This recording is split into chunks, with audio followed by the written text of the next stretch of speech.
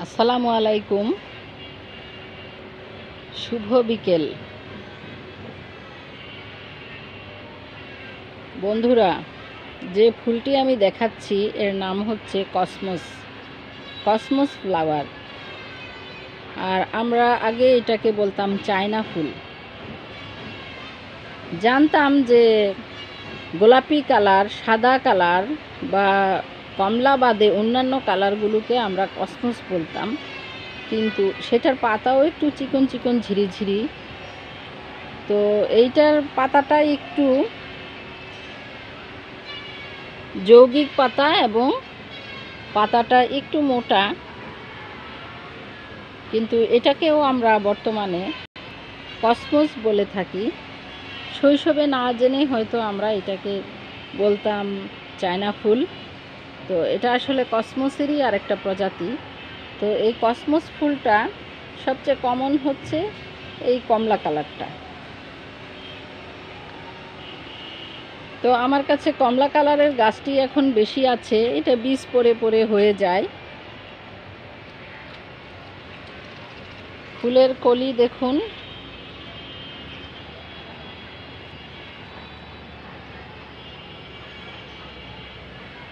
ফুলের কলি।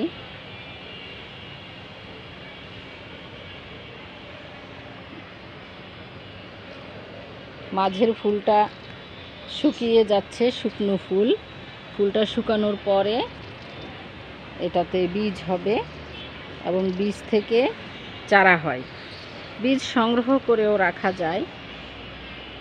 পরবর্তীতে লাগানোর জন্য আবার ঝরে পড়ে, এত বীজ হয় যে ঝরে পড়ে আবার চারা হয়ে যায়।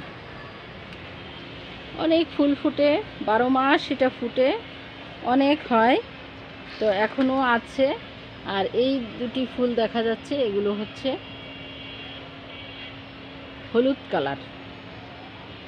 একসাথে দেখলে বোঝা যাবে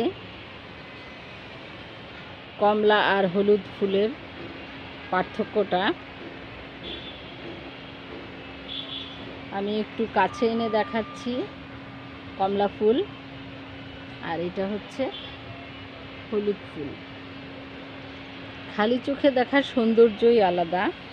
আর যখন আমরা ক্যামেরায় কিছু দেখি, সেটা লাইটের ফোকাস বা দূরত্বের কারণে, জুম করার কারণে অনেক রকমের পার্থক্য হয়ে যায়। রিয়েল কালার আসে না।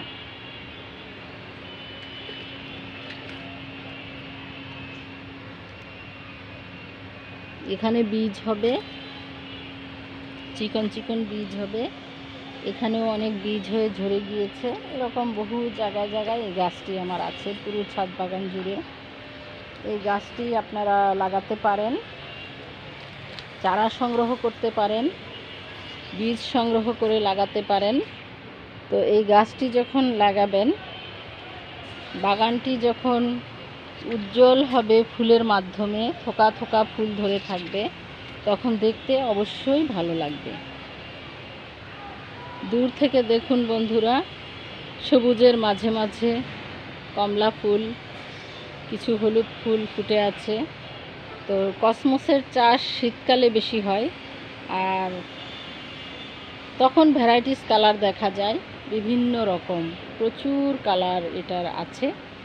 যেহেতু উন্নত প্রযুক্তির মাধ্যমে অনেক রকমের কালার তৈরি করে গবেষণাগারে হাইব্রিড প্রযুক্তিতে প্রচুর কালার হয়। আর এটা হচ্ছে কমলা এবং হলুদ রং, অনেকটা বলা যায় দেশি কসমস। এটা বারো মাস ফুল দেয়, এটাও একটা বারো মাসি ফুল। তো এটা যদি একবার বাগানে লাগানো হয়। দেখা যায় যে বীজ পরে পরে বাইরোটেশন এটা চলতেই থাকে এবং সারা বছরই বাগানের শোভাবর্ধন করে।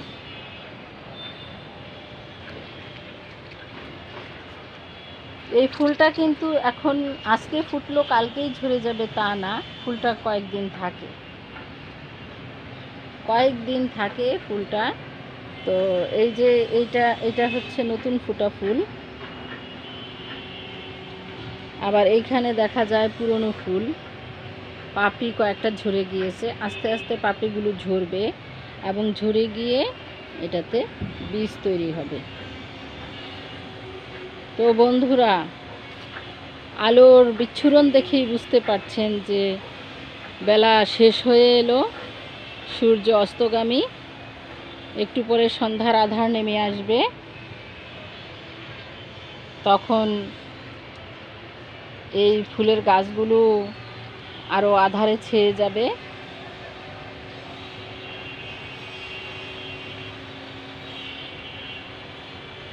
আমরা আলো পছন্দ করি, আধারে থাকাটা পছন্দ করি না।